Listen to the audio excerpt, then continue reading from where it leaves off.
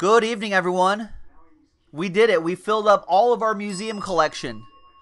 Appreciate it. Big thanks to, this is Pick Your Team 12. Big thanks to all of these folks right here for getting to the second half of Museum Collection Baseball, which is right here. Stephen K with that last spot mojo, Pirates. Stay tuned for next week when we replace the toner. It'll be pretty exciting. We'll be back next Tuesday. So let's slide these over.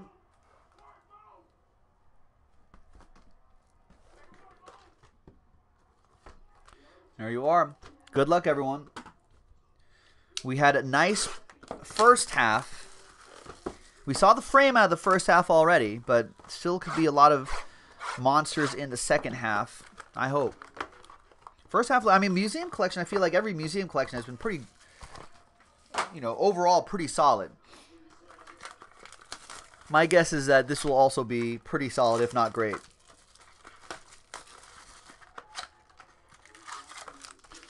Uh oh.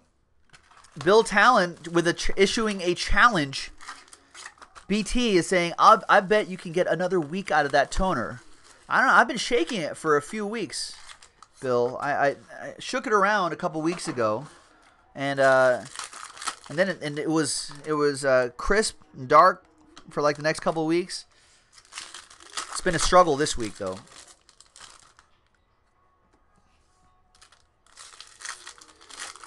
Ah, TJ TJP saying, listen, there were two last case had two frames.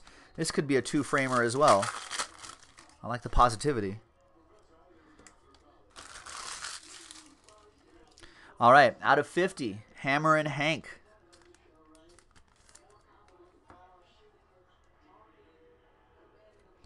Uh, Daniel Murphy, Nolan Ryan. Jackie Robinson, Chris Sale, Javier Baez. Got these guys here too. And Giancarlo Stanton to 150. Bron Schwarber and the Tomei reproduction. Some of them look so good. The reproduction looks so good that it almost looks like a sketch card from a distance. And we've got Laser Show, 25 out of 50, Dustin Pedroia. That goes to Bill Talon with the Red Sox. On this side, we have Chance Sisco, 76 out of 299 for the O's. Another one for Bill. For BT. I think there's only one Bill in this break, right? Behind Babe Ruth is an upside. Well, they messed up. An upside down Didi Gregorius. What are you gonna? 29 out of 149 triple relic and autograph. It's been a long week, folks. TJP with that one. And Arthur reporting that Diamondbacks officially won, thus completing the destruction of the San Diego Padres 20 to 5. Jeez. Corey Seager reveals Yadier Molina, Carlos Martinez, Matt Carpenter, and Wayno. 45 out of 75.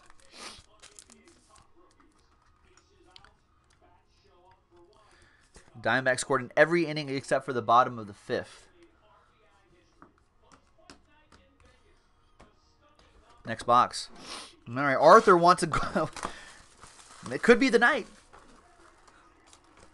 Maybe a Goldie, Goldschmidt for Arthur in the last break museum collection, and to commemorate the uh, the Diamondbacks' destruction. How did Goldie do today?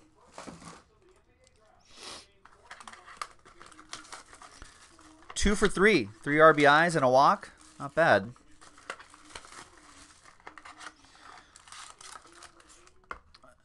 Clemson card saying, "Get me a laundry tag." They're sick. Yeah, they're they are sick, but I don't know. It's not easy to pull those guys. There's only one of them. Pretty rare.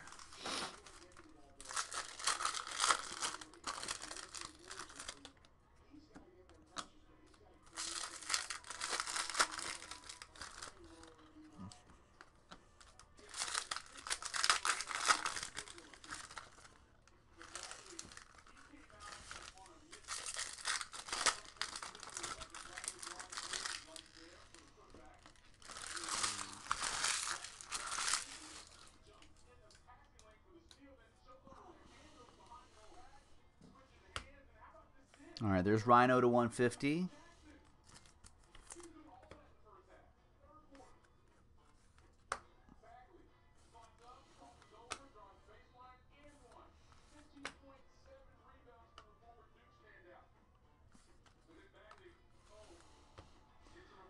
All right.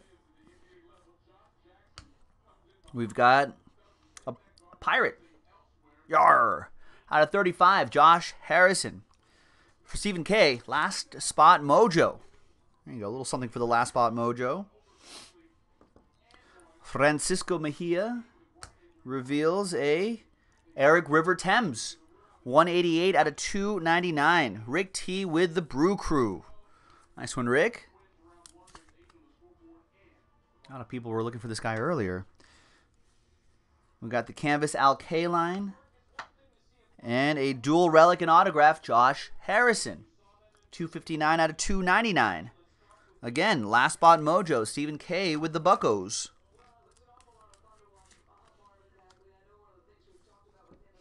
And behind King Felix is a quad relic primary pieces, Noah Syndergaard. 30 out of 75.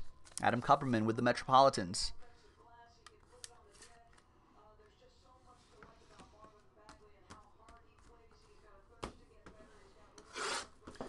Next box.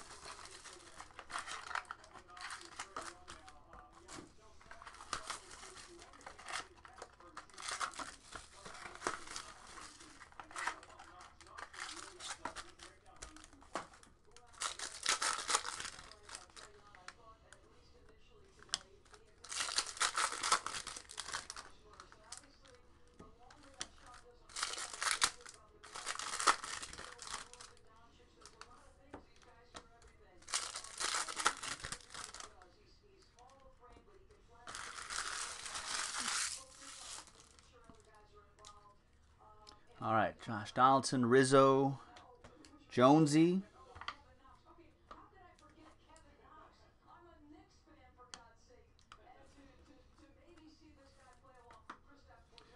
Strasburg to 99. That is for TJ Poyer.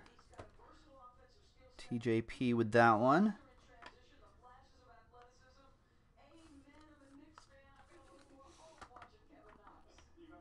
All right, behind this sketch reproduction of Jimmie Foxx, who was, I believe, the inspiration for Jimmy Dugan in a league of their own.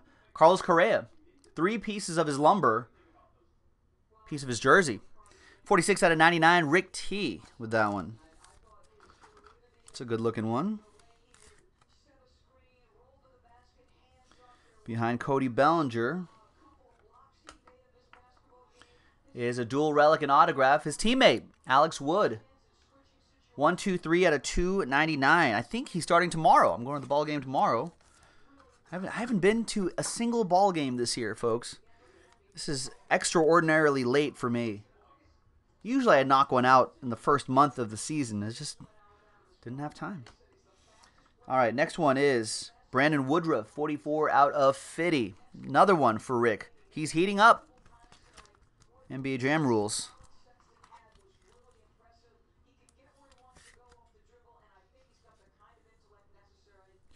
Uh, Dodgers auto goes to Bill Talon, by the way.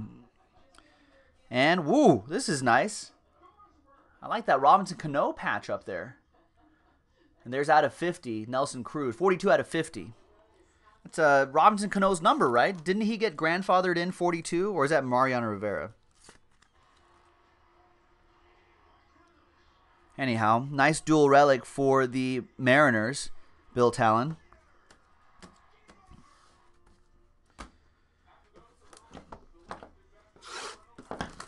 Is all forgiven when Robinson Cano comes back? I mean, they're in the heat of a, a playoff race, right? They can maybe get the division away from the Astros. That would be quite a feat. But a wild card for sure. Maybe. Cano should be able to come back at some point this season.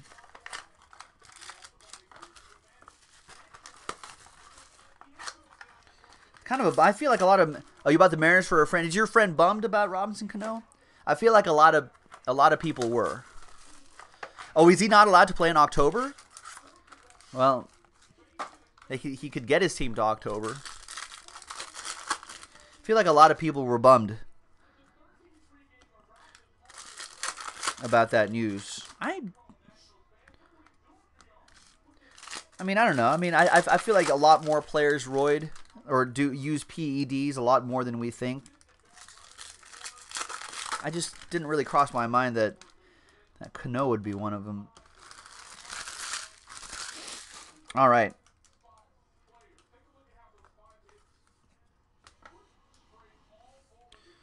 Ninety-five out of ninety-nine. The Wizard Ozzie Smith.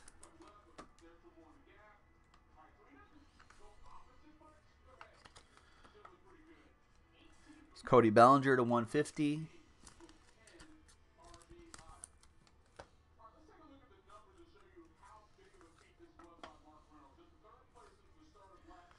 Kershaw, Cano, and Altuve. Yeah, apparently, I actually kind of forgot about that. Chris Torres is reminding us that if you get popped for PEDs, you're automatically banned from playing in the postseason that year.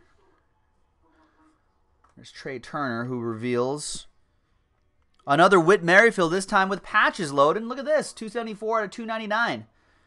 Two color, same shade, two colored, dual relic, and his autograph.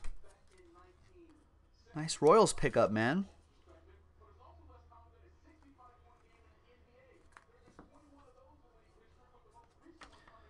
I like Whit Merrifield. There's Zack Greinke, 95 out of 99. Another primary pieces for Arthur and his Diamondbacks.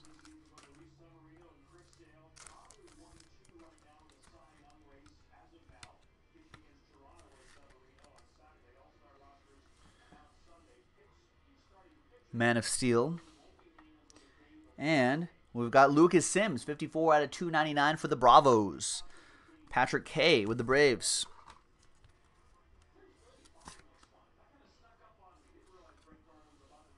Sandy Koufax will reveal a pirate.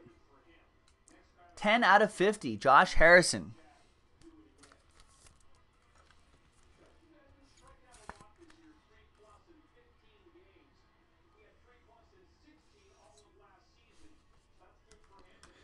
That's for Stephen K. Last Spot Mojo getting a few things here. Two boxes to go. Eight hits to go.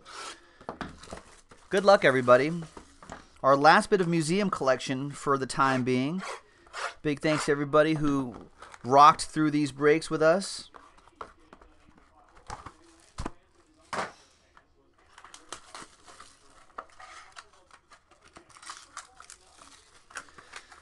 Chris Torres saying Cano will be our DH in 2019 after Cruz is not re-signed.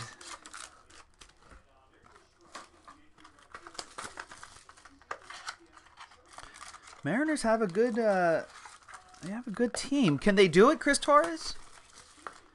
Can they win the division? I don't know if they're going to win the division. Wild card spot? That's got to be solid. Are they going to make moves at the trading deadline?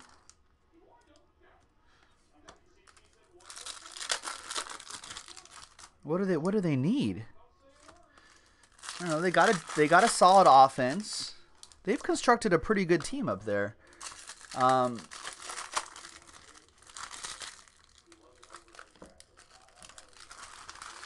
I like I like Wade LeBlanc, LeBlanc, LeBlanc. I like uh, Paxton. Out of 150, Jackie Robinson. I'd like for I feel like I feel like if if we got like vintage King Felix for like the last couple months of the season and in the playoffs, that would be awesome. You know, if we brings back a little vintage King Felix would be cool.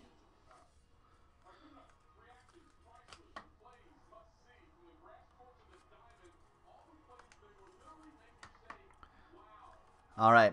Behind Justin Verlander is uh, Nick Castellanos, former teammate, maybe? I think they overlapped, right? 21 out of 35. That goes to Rick T. Sorry, not Rick T in the Astros, but Samuelson in the Tigers. Chris Torres says for his Mariners, wild card for sure, and the moves will be made for starting rotation depth. All right. And there's Sonny Gray out of 299. Uh, Chris, what would it take for the Dodgers to get Kyle Seager to create a Seager middle infield in LA? Is he going to be a free agent soon? I think you guys locked him up, right? Chipper Jones might have to be a trade. Will reveal a quartet of Yankees: Gary Sanchez, Didi Gregorius, Brett Gardner, and Greg put a bird on it. 89 out of 99 for the Bronx Bombers. TJP with that.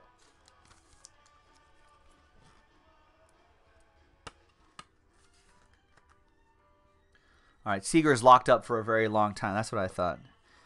Behind the sketch reproduction of Mr. Derek Jeter is a dual relic and autograph, Starling Marte.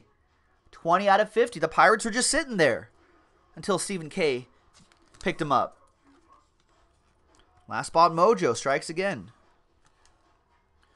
All right, so if if if Kyle Seager's locked up for a while, then it would require probably a lot of hot Dodger prospects that probably won't be willing to. Uh, the Dodgers won't be willing to give up.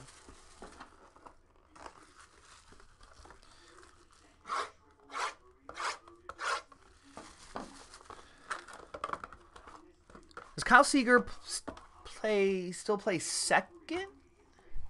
Is that where they have him? Or he can play second, right?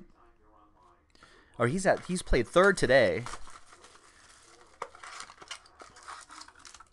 The Dodgers' second base situation has been has been pretty uh, pretty bleak.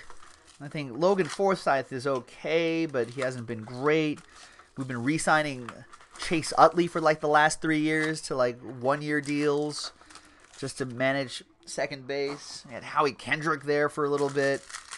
Chris Taylor for a little bit, but he's better suited in the outfield. Kike Hernandez will sometimes do there, but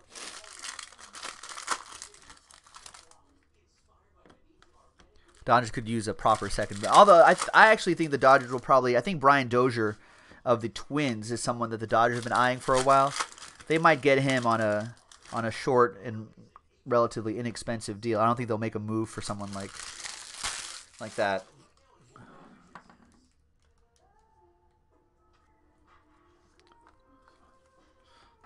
His home runs are masking his low average. Well, if he's hitting dingers in Safeco, out of 50, Yoan Moncada White Sox.